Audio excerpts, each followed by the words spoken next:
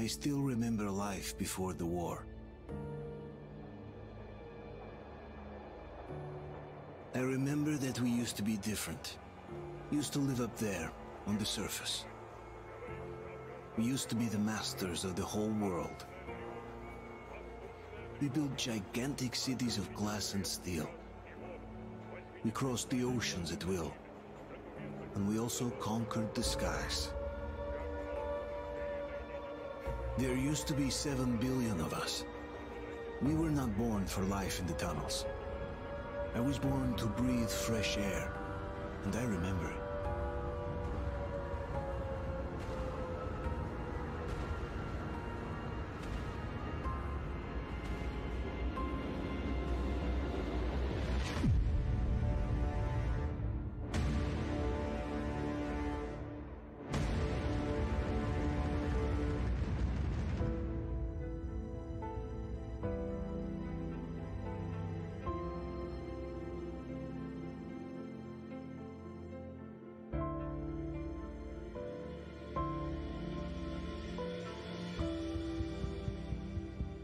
The 7 billion were wiped out by the last war. Only 50,000 managed to survive underground, with the surface poisoned, burned, and teeming with horrible monsters. One day the radiation on the surface might subside, and our grandchildren or their grandchildren might be able to return there. At least that's what my brothers in arms from the Order believe. Basically, there was no hope for us right off the start. Still, we humans are just too bad at surrendering. We tried to make the best of what we had, banded together, and worked to make the Metro our new home. After all, it might well be the only place left on Earth for humans to live. For a time, we thought we could make it. But, regrettably, the war didn't kill our bad habits.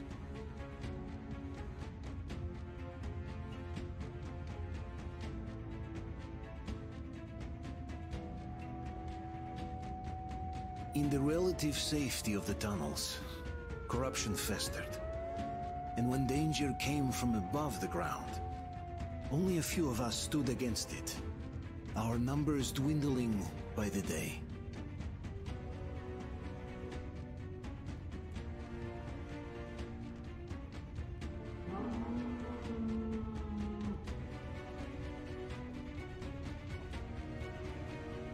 But I remember we were born for a better life. And I can't accept that I'm destined to grow old and die underground. I don't care if I'm called an idiot. But if even a single shard of the old world still exists out there, I have to find it.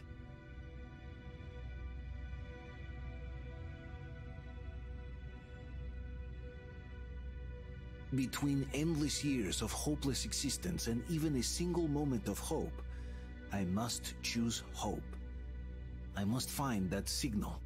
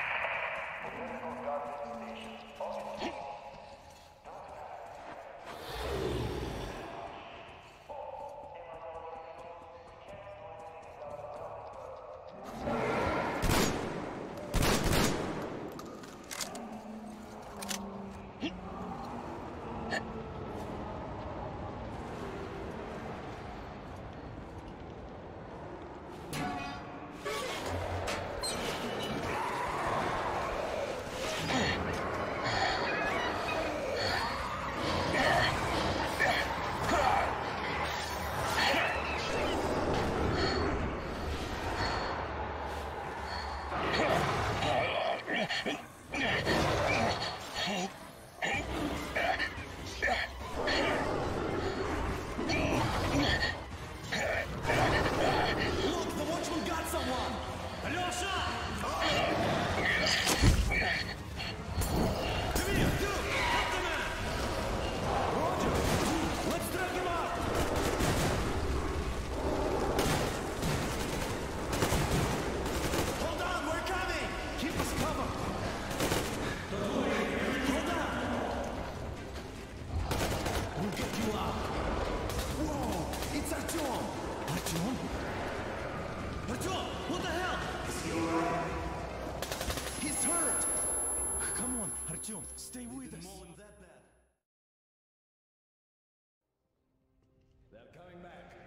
Attention, people. Oh, look, it's the hero. Why the lights off? It's nighttime at the station.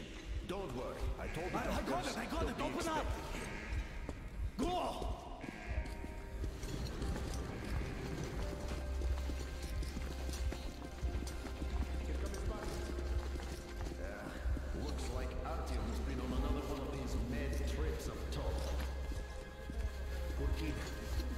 He got into one too many explosions at D6. Where to now? Left, across the square. Hey, Damir, do you think the Colonel knows what Artyom been up to here? How am I supposed to know? Ask him yourself. But he radioed from the ring, said he'd be here tomorrow. Hey, you! Leave him alone! I killed him myself with my slingshot. Let him learn to stand up for himself. Yeah, How right. else can he hope And to survive in the you metro? Rise and shine, people! Have a flashlight. Hang in there, Artyom. You're gonna get a fresh dose of Spartan blood now.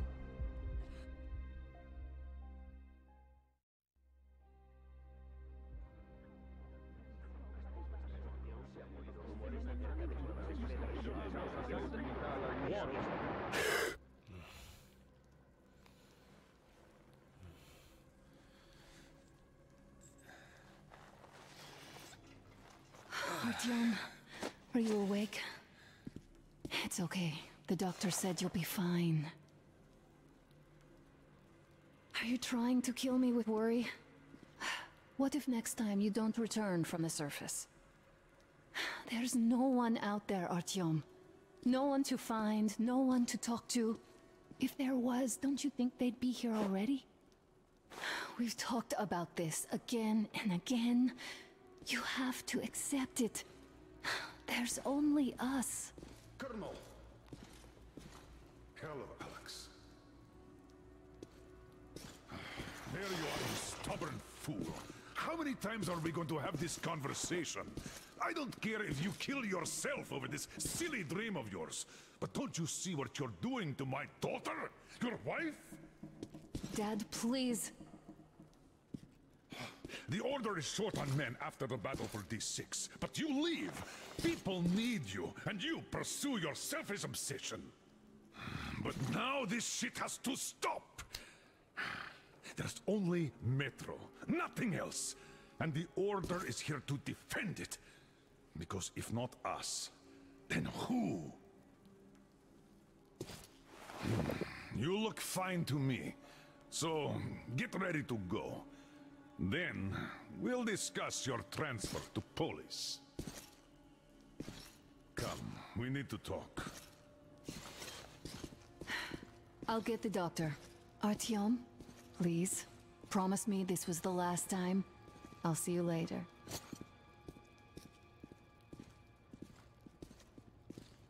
Artyom, we managed to bring you back from the brink, but people are giving you their blood, which could save so many wounded, and you keep bringing it back irradiated. Don't you think that is unfair? Let me put it this way. I can't promise I'll be able to bring you back next time.